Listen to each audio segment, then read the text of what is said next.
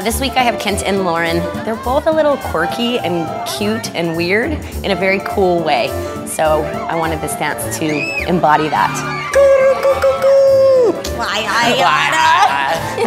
In this piece, we're really ourselves, and it's really fun because we just get to let go. Five, six, ready, go.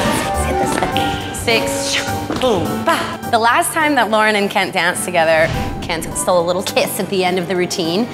How many different kinds of cars? He's gonna try and kiss you. There's no kissing this week. There's no kiss there, Kent! Oh, oh Lorda. I'm sorry. You okay? He got his kiss. okay, he's done.